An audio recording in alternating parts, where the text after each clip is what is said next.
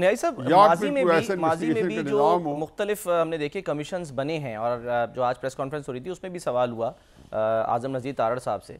तो उन्होंने अपनी हुकूमत का तो कहा कि जी जो हमारे मतलब यानी कि दौर में कोई बना है तो उसके तो हम जिम्मेदार हैं ज़ाहिर है जो माजी में बना है। मिसाल मैं देता हूँ कि एबटाबाद कमीशन रिपोर्ट वो आज तक मंजर आम पर नहीं आई। तो जो कमीशन किसी भी यानी कि मौके के ऊपर बने हैं आप दुरुस्त कह रहे हैं कि वो उसका कोई नतीजा निकलता नहीं है रिकमेंडेशंस हों तो उस पर अमल दरामद नहीं हो पाता। तो फिर इस पूरी एक्सरसाइज का क्या आपको फ़ायदा दिखाई दे रहा है? होगा क्या? क्योंकि इससे तो ये देखा जा रहा है कि आ, हमारे जो सिक्योरिटी इदारे हैं या उनके जो लोग हैं जिनको इस ख़त के ज़रिए मुबैना तौर पर मलाइन करने की कोशिश की गई है बाज़ लोगों के नज़दीक तो ये तो आ, आ, फिर ये इल्ज़ाम तराशी हो गई ना अगर किसी नतीजे पर नहीं पहुँचते न्याजी साहब। अच्छा मैं पहले पहली बात को कंक्लूड कर लूँ दो फ़िक्र ऐड करके जी। कि उस खत में एक हिस्सा ये है कि उसमें उनका अपना जजेस का भी एक मिसकंडक्ट आता है। क्योंकि उन्होंने इस खत को पब्लिश किया बजाय सुप्रीम कोर्ट के चीफ जस्टिस को लिखने के।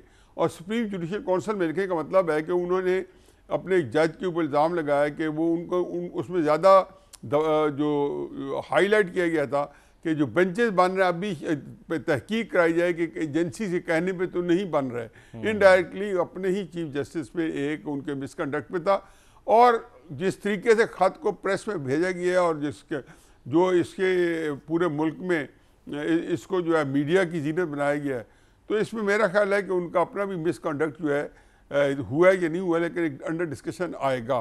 बाकी रहे आपके कि जो कमीशन बनते रहे तो कमीशन तो ये जहन में रखें सलमान, कि जब भी इस मुल्क में फरीक सानी जो है, वो इस्टेब्लिशमेंट हुई है तो इस मिसकंड उसके अंदर आप ये देखेंगे कि वो रिपोर्ट कभी सामने नहीं आई चाहे वो मिसिंग पर्सनस के बारे में कोई हो, चाहे वो हमूद रहमान कमीशन हो, चाहे आप एबटाबाद कमीशन का आपने नाम लिया है, इस तरह के और भी कई कमीशन बने हैं, जो कि छोटे मोटे जिसमें फरीक सानी जो है, उनमें हमारी इस्टेब्लिशमेंट या एजेंसीज होती हैं। उनकी रिपोर्ट्स कभी मंजर आम, आम नहीं आई। अमूमन ये समझा गया और वाक़ यही है कि ये शख्सोई के लिए या एक वो जिसको कहना चाहिए कि बस मगू जो घुंगलुओं से क्या कहते हैं पंजाबी घुंगलुओं तो मिट्टी झाड़ना नहीं। हम्म। ये इस तरह या ये भाई ये कमीशन बनाए जाते हैं ताकि ये जो हीट ऑफ़ द मोमेंट है ये जो इस वक्त एक होता है